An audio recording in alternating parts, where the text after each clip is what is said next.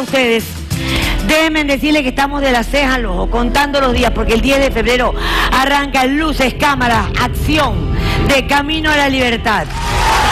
Una ambiciosísima producción cinematográfica comandada, dirigida, producida por Becky Valdés, una querida amiga también de esta casa, y es una producción que con el asesoramiento del gran Melvin Hoyos nos lleva a vivir toda la historia de esta increíble ciudad.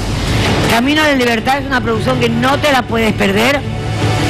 Se está echando toda la carne al asador. Ah, tiene una ambientación de primera. Nos lleva al siglo XVIII. No te cuento más. Te invito a ver esto.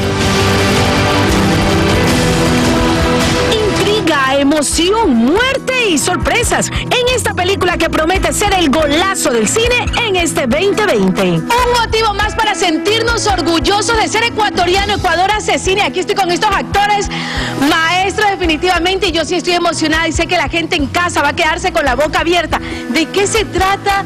Y, y verlos me pone feliz. y Camino a la Libertad, que es la, la película que se viene por el Bicentenario, lo vamos a celebrar a lo grande con unos actorazos, un equipo de producción espectacular, así que se está metiendo toda la leña al fuego.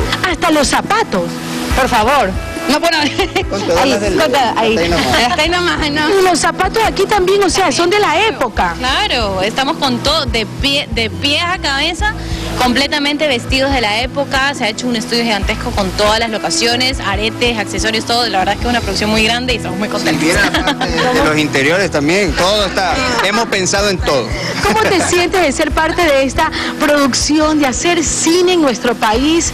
Orgullosa, feliz. feliz, encantada. Para mí esto es una, una linda experiencia que desde la preproducción, desde estos ensayos, estos pequeños encuentros que estamos teniendo, que se ve que es a lo grande. las lámparas, los detalles, todo ha sido preparado para que el ambiente no sea de teatro, sino que sea realmente el ambiente de un cine profesional Nuestro compromiso es reflejar el Guayaquil de 1820 tal como era. Eh, incluso la manera de hablar de los guayaquileños, la ropa, la ambientación, todo lo que vas a ver en escena es exactamente como era en 1820. ¿Cuántos actores van a participar en esta mega producción? Mira, esto es realmente grande. Tenemos 400 entre actores y extras, tenemos dobles, eh, dobles para las escenas de batalla. Aquí tenemos actores nacionales porque nosotros somos una empresa que cree en el talento nacional al 100%. Tenemos un pequeño número de actores internacionales y entre esos están, por ejemplo, actores españoles porque necesitamos actores españoles que representan a las autoridades españolas. Necesitábamos actores venezolanos, también tenemos, y nuestros actores nacionales con, con personajes protagónicos, no de relleno. es la historia de la independencia de Guayaquil y de Ecuador. Y este, esperamos llegar con el mensaje a todo el mundo. Eh, son de 7 a 8 semanas de rodaje, incluyendo una semana en Riobamba, donde vamos a hacer las seis batallas. Un proyecto sin duda alguna de exportación. En el mes de octubre estará en las salas de cine. Para de casa en casa, Pili Vera.